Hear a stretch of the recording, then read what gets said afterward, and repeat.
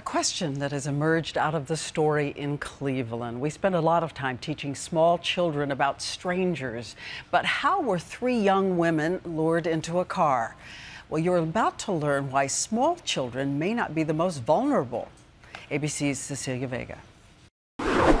Kidnappings, attempted abductions, from the streets of Philadelphia in broad daylight to the toy aisle of an Atlanta Walmart to a parking lot in Florida. They happen all too often.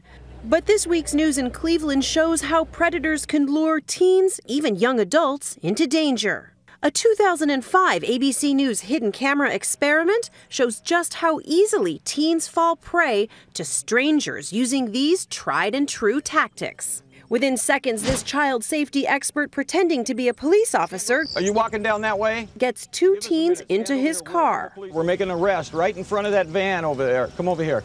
They don't ask a single question. Open up, jump in, real quick, real quick. Just sit in the driver's seat. That's all you got to do. Fast. Inside, scoot over real fast.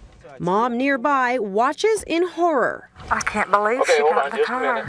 Cleveland police say Ariel Castro also snatched his victims by tricking them into his car.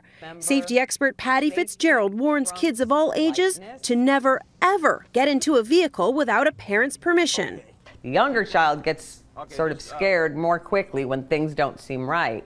The older child feels like, what could happen? I'm in my neighborhood. That's surprising. I know. Everybody thinks it's going to be the little kids. There is an arsenal of creative tricks. This time, the would be kidnapper lets the air out of his teen victim's tire.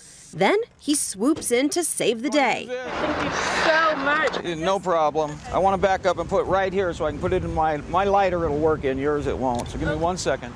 It doesn't take long. She's inside. In our experiment, half of the teens got into the car, but the good news is the other half did not. Cecilia Vega, ABC News, Los Angeles.